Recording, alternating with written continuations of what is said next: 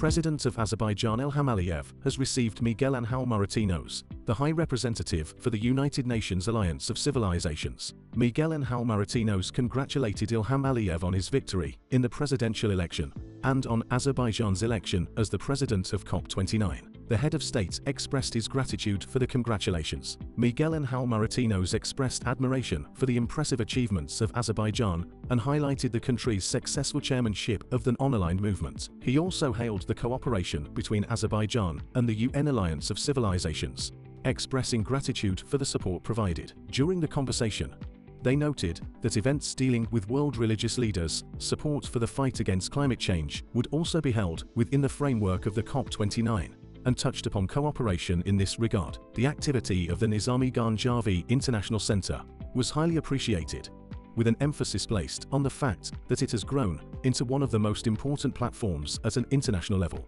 They pointed out that the 11th Global Baku Forum would welcome a large number of participants representing various regions of the world, where topical issues would be discussed. During the meeting, they highlighted the successful organization of the World Forum on Intercultural Dialogue in Azerbaijan and underlined that this tradition would be continued in the future. It was noted that the United Nations Alliance of Civilizations has consistently provided its support as a partner of the World Forum on Intercultural Dialogue. During the discussion, they expressed concern about the increasing Islamophobia trends in European countries.